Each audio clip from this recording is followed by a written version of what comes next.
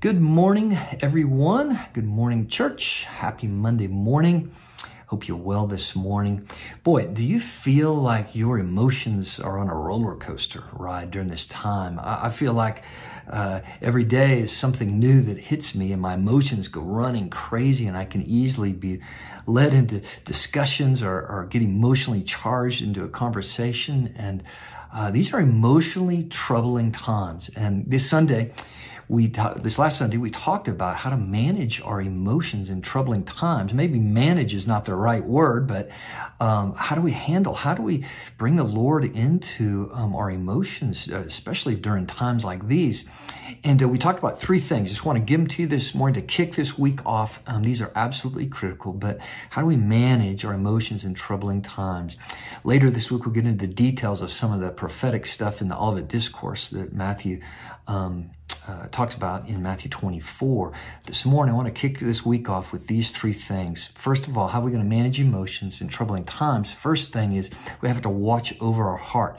Proverbs 423 says this, keep your heart, in other words, guard your heart, protect your heart with all vigilance, for it is the wellspring of life. So we start there to watch over our heart. It's the wellspring of life. We must guard it. And uh, we must be in tune with what's going on inside our heart. We can't hold that in, especially in times like this. It's so sad to watch what's going on, right, in the emotional state, right, of our nation and our communities. Uh, boy, we're coming to really a, a, a, breaking point in, in many lives and communities. Uh, it's time for the church to shine. It's time for us to gather together and, and know how to manage our, our emotions, right? To have a healthy community and see a sense of peace, right, in these times. So the first thing is um, Proverbs 4 23, watch over heart. Um, pay attention, and hopefully you have a congregation, you have a community that, uh, or friendships, discipleship group that you're able to dive in deep on those issues. Second thing is we must trust, learn, right, to trust Jesus with all of our heart. Uh, now that's easy just saying, but how do we do that? Proverbs 3, um, verses uh, 5 through 8. I want to read these for us. This is a longer set of scripture, but the second thing is we must trust Jesus with our emotions. Remember, faith has to lead out in front of our emotions. If emotions get ahead, we're going to be in trouble. We're going to live by the flesh and we're not going to experience the fruit of the Spirit. Um, but this, uh, how do we learn uh, to trust Jesus? Um, listen to this, Proverbs chapter 3, verses 5 through 8. I'd put all these verses to, to memory. I just want to read these, though. It's a longer set, but I'd, I would put them to memory.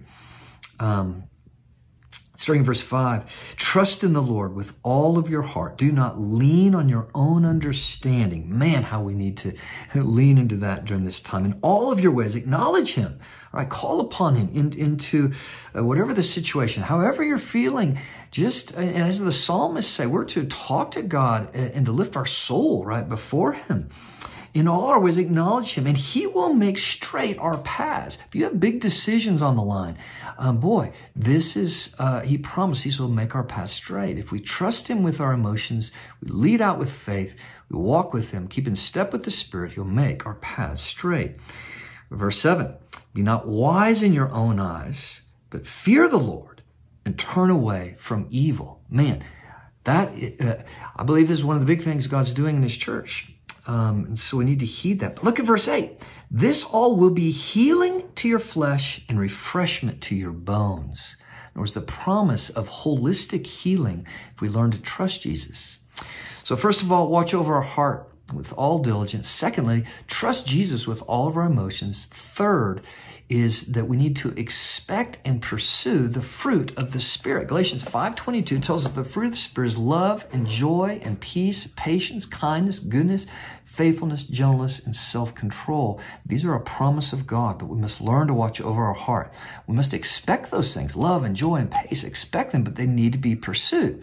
And we do that by watching over our heart, trusting Jesus with all of our heart, and then expecting and pursuing the fruit of the Spirit. I uh, hope this blesses you and strengthens you, encourages you um, this week. God bless.